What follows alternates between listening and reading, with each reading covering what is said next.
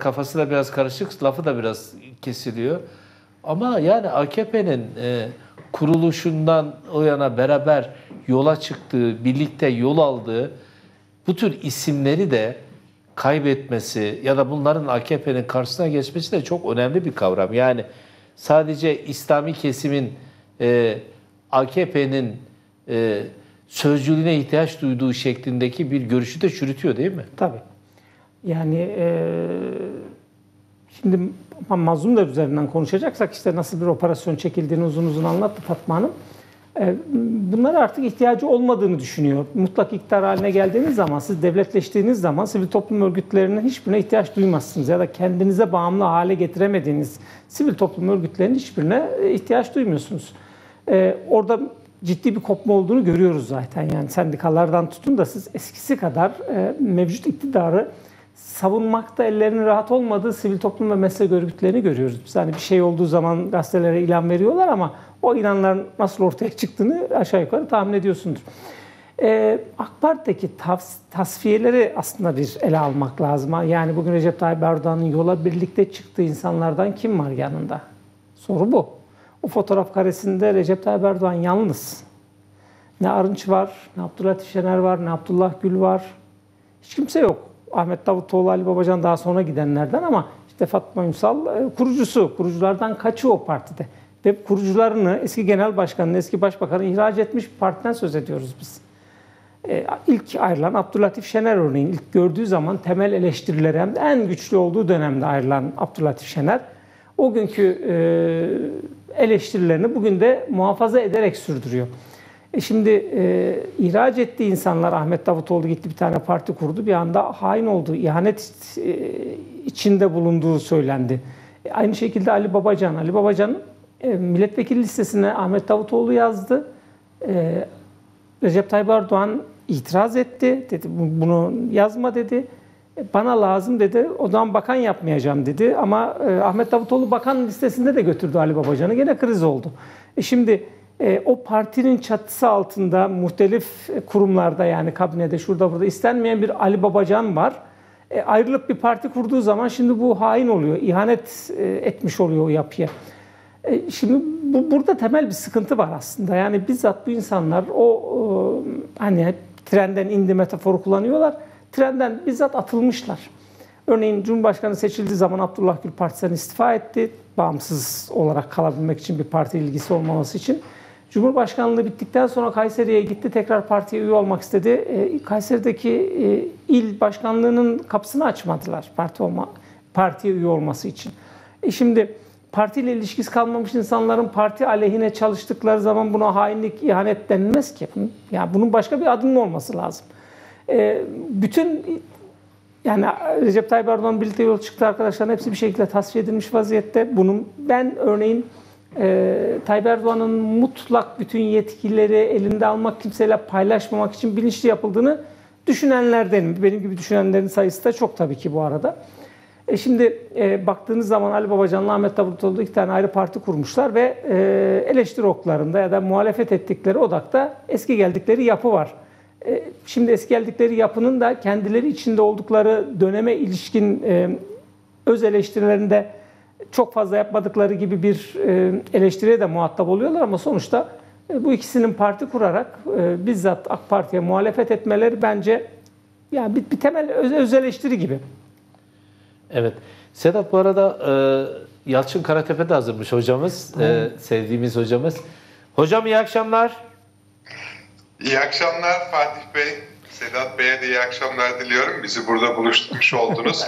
Uzun zamandan beri görüşememiştik. Çok mutlu oldum onunla da birlikte olmaktan. Sağ olun. Yalçın Hocam ben de çok mutlu oldum. Hocam artık sizi tarif etmiyoruz. Yalçın Karatepe deyince artık insanlar tanıyor çünkü programın önemli simalarından birisiniz. Sevgili hocam. Sayenizde Fatih Bey. Teşekkür ederim. Sağ olun. Yok, estağfurullah. Hocam Malatya Spor dışında hangi takımı tutuyorsunuz? Önce onu bir sorayım.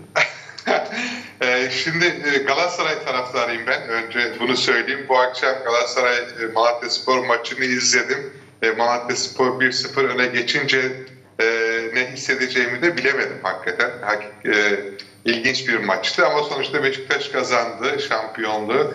Ben Beşiktaş'ı tebrik ediyorum. Yani bir Malatyalı Galatasaray taraftarı olarak Beşiktaş'ın şampiyonluğunu kutluyorum. Hak ettikleri bir sonuçtu. Tebrik ederim gerçekten. Evet önemliydi çünkü çok zor bir ligdi bu yıl.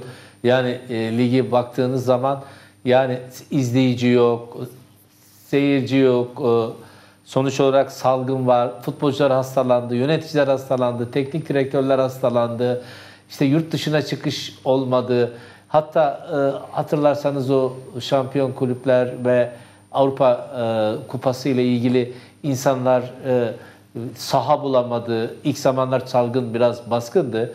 E, onun için çok zor günler geçirdi futbolda halkla birlikte tabii ki. Ama atlattılar umarım. E, çünkü Fatih Terim hastalanmıştı, iyileşti. E, ve diğer Beşiktaşlı futbolcular arasında yine salgına yakalanan vardı. Bu arada arkadaşlar bir e, hocam izninizle bir Beşiktaş'la ilgili bir görüntümüz var. Onu bir getirelim ve sonra hocamızla sohbete devam edelim. Değerli Beşiktaş taraftarı, konuşuyor. Öncelikle şampiyonluğunuz hayırlı olsun.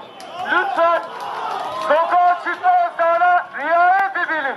Kendi sağlığımız için evlerimize geri dönelim. Değerli Beşiktaş taraftarı, polis konuşuyor. Öncelikle şampiyonluğunuz hayırlı olsun.